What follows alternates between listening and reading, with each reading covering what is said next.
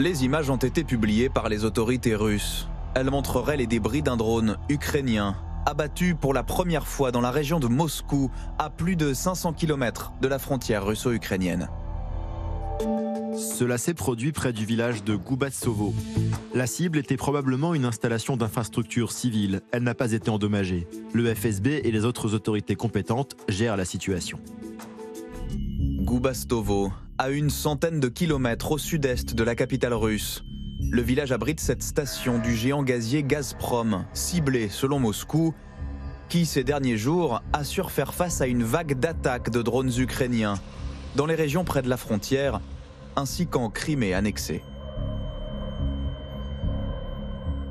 Une tentative d'attaque massive de drones par le régime de Kiev sur les installations de Crimée a été déjouée.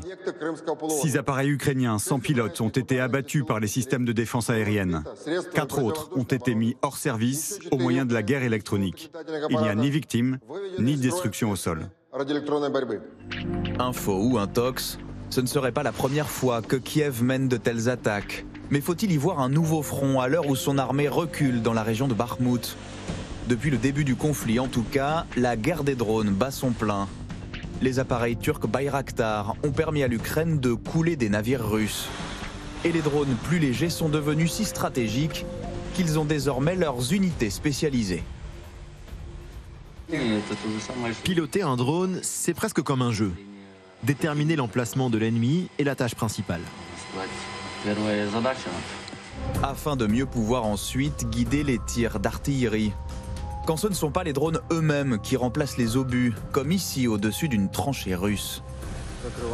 Dans leurs ateliers, de nombreux volontaires ukrainiens transforment ces engins bon marché en petits bombardiers. Ici, dans mon unité, je m'occupe des explosifs. C'est ma responsabilité. Les drones kamikazes sont beaucoup plus précis qu'une unité d'artillerie, car ils utilisent des coordonnées pour l'attaque. Si l'artillerie doit tirer 5 à 10 fois pour infliger des dégâts à une cible, avec les drones kamikazes, il suffit d'un seul drone pour toucher la cible. Et l'armée russe n'est pas en reste, utilisant, elle, les Shahed, des drones kamikazes iraniens, eux aussi bien moins chers que des missiles de croisière. Fournis par Téhéran, Moscou en aurait déjà utilisé plus de 650 depuis le début de la guerre, aux grandes dames de Kiev. La question est de savoir pourquoi la communauté internationale reste silencieuse, pourquoi elle donne son consentement silencieux au fait que la Russie, l'agresseur, que tout le monde combat, puisse être aidé de cette façon. Pour protéger son ciel des drones, moins détectables que les missiles, l'armée ukrainienne s'en remet depuis peu à des unités de volontaires. 80 hommes, chasseurs de drones. On a reçu l'ordre de se mettre en position et de commencer à tirer sur des cibles volantes le 10 octobre. Ces hommes veillent sur Kiev toutes les nuits. Avec les moyens du bord, leurs mitrailleuses datent d'avant la Seconde Guerre mondiale. Le mauvais côté de cette arme, c'est qu'elle n'est pas fiable. Parfois, elle s'enraye.